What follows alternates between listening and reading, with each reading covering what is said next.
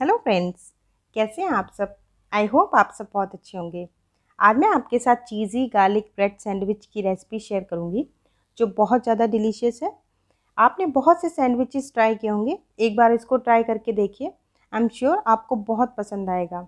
And easily आप इसको घर में बना के इंजॉय कर सकते हैं। और अगर आपको मेरी ये रेसिपी अच्छी लगे तो प्लीज़ मेरे चैनल को लाइक एंड सब्सक्राइब ज़रूर कीजिए। देखते हैं सैंडविच बनाना। इसके लिए मैंने एक बोल लिया है। इसमें वन टेबल स्पून बटर लेंगे। ये लहसुन या फिर गार्लिक इसको इस तरीके से ग्रेट कर लिया है मैंने। ऐड करना है इसको बटर के साथ में। इस तरीके से अच्छे से मैश करते हुए इसका स्मूथ पेस्ट बना लेंगे। इस तरीके से। थोड़ा सा पिज़्ज़ा ऑरिगेनो इसको भी ऐड करना है। इसको भी अच्छे से मिक्स कर लेंगे। ये देखिए, अच्छे से मैंने मिक्स कर लिया है। इसको साइड में रख देंगे। सैंडविच बनाने के लिए मैंने थोड़े से टमेटोज़ हैं, इसको इस तरीके से कट किया है। उबला हुआ आलू है, इसको पीसेस में कट कर लिया है। ये ग्रीन चटनी है। थोड़े से ये स्वीट कॉर्नस हैं। चॉप्ड अनियन शिमला मिर्च, इसको इस तरीके से कट कर लिया है। तवे को बटर से ग्रीस कर लेंगे। एंड ब्रेड स्लाइसिस को बेक करना है। बहुत ज़्यादा बेक नहीं करेंगे, बस हल्का सा बेक करेंगे।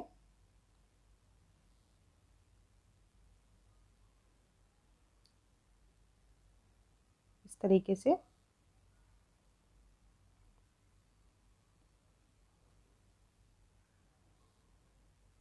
बेक हो चुकी हैं स्लाइसेस ये ब्रेड की दो मैंने प्लेन स्लाइसेस ली हैं, इनके ऊपर गार्लिक बटर का जो मिक्सचर बनाया था, वो स्प्रेड करना है।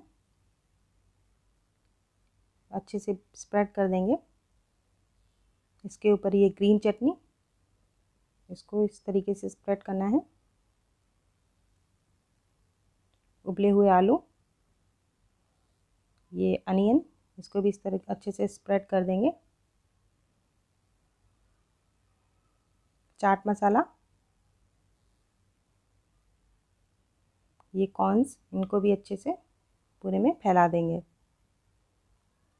ये चीज़ है, इसको थोड़ा सा ग्रेट कर देंगे इसके ऊपर। जो दूसरी हमने स्लाइस बेक करके रखी थी, उसके ऊपर ये गार्लिक बटर का मिक्सचर है जो, वो मैंने अप्लाई किया है। इसके ऊपर थोड़ा सा ये पिज़्ज़ा पास्ता सॉस, इसको भी अच्छे से स्प्रेड कर लिया है।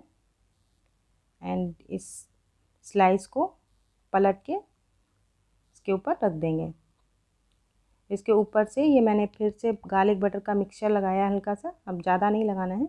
थोड़ा सा पिज़्ज़ा पास्ता सॉस इसको भी स्प्रेड करेंगे। टमेटो स्प्रेड कर देंगे। शिमला मिर्च इसको भी अच्छे से स्प्रेड कर देंगे।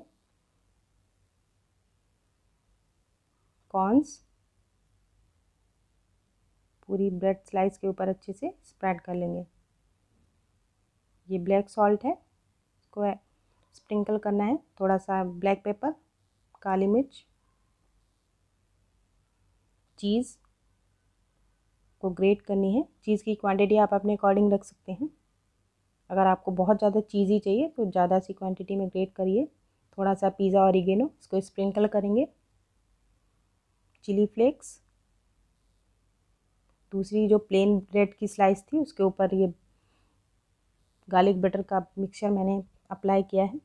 थोड़ा सा ये ग्रीन चटनी थोड़ा सा पिज़्ज़ा पास्ता सॉस इसको भी स्प्रेड कर लेंगे। एंड इसके ऊपर इसको पलट के रख देंगे। तरीके से और इसको प्रेस कर लेंगे। पैन को ग्रीस करना है बटर से। और जो तैयार सैंडविच है, उसको इस तरीके से रख के और अच्छे से प्रेस कर देंगे। और इसको लो फ्लेम पे फाइव मिनट तक कुक करना है। फाइव मिनट के बाद में देखिए, इसको, इसके ऊपर मैं ये बटर अप्लाई कर रही हूँ। इससे जो ब्रेड है, बहुत अच्छे से सिक जाएगी इस साइड भी और इसको पलट देंगे अच्छे से ये देखिए अच्छे से इसको प्रेस कर देंगे। देखिए एंड इसको भी बेक करना है। ये अच्छे से बेक हो गया है, इसको हटा लेंगे। ये देखिए सैंडविच बन के तैयार है। आप इसको कट करके इस तरीके से सर्व आप ऐसे भी सर्व कर सकते हैं। नहीं तो इसके ऊपर चीज़ को ग्रेट करके एंड इसके ऊपर थोड़ा सा pizza oregano and chilli flakes sprinkle करके आप सर्व कर सकते हैं। आपकी मर्ज़ी है, आप जैसे भी सर्व करना चाहें। बहुत ही डिलीशियस सैंडविच बनता है। आप एक बार इसको ज़रूर ट्राई करके देखिए एंड जो भी आपके एक्सपीरियंस हो, आके शेयर कीजिए।